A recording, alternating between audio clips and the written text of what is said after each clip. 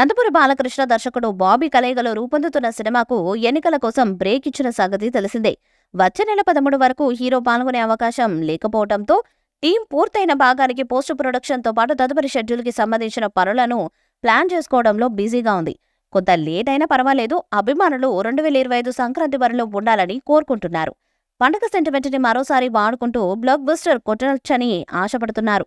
అయితే బాలయ్య నూట తొమ్మిదవ సినిమా టార్గెట్ సంక్రాంతి కావడం లేదు. ఈ ఏడాది సినిమాను విడుదల చేయాలని చూస్తున్నారు. ఎందుకంటే ఎలక్షన్లు పూర్తవగానే వీలైనంత వేగంగా షూట్ చేసేలా బాబీ రెడీ అవుతున్నాడు. గతేడాది భగవంత్ కేసరి తరహాలో దసరాకు రిలీజ్ చేసే ఆలోచనలో సితార్ ఎంటర్టైన్మెంట్స్ టీం ఉందని ఇన్సైట్ టాక్.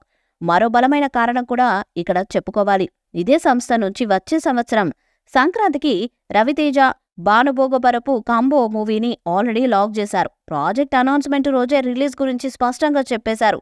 అంటే బాలయ్యది అంత ఆలస్యం కాదనే నమ్మకంతో ఈ నిర్ణయం తీసుకున్నారు. కాకపోతే తేదీ ఎప్పుడనేది కొంతకాలం సస్పెన్సే ఆగస్టు నుంచి డిసెంబర్ దాకా నెలకు రెండు మూడు క్రేజీ చిత్రాలు ఆల్రెడీ డేట్లను బ్లాక్ చేసుకొని ప్రకటనలు ఇచ్చాయి మరికొన్ని పరిస్థితులను బేరీజు వేసుకొని అనౌన్స్మెంట్కు రెడీ అవుతున్నాయి.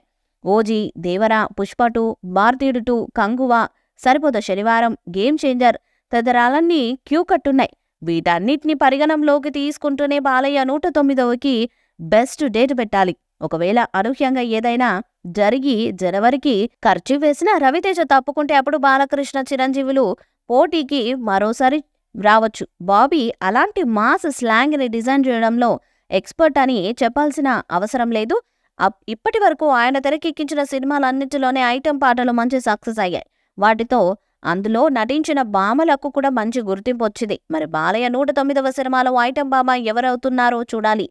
అతి త్వరలోనే ఆ విషయం తెలిసే అవకాశం ఉంది. ఇప్పటికే కొద్ది భాగం షూటింగ్ కూడా పూర్తయిపోయింది.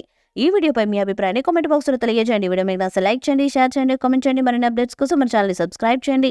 అలానే పక్కనే ఉన్న గట్టి సేవలు గట్టిగా ఒకటండి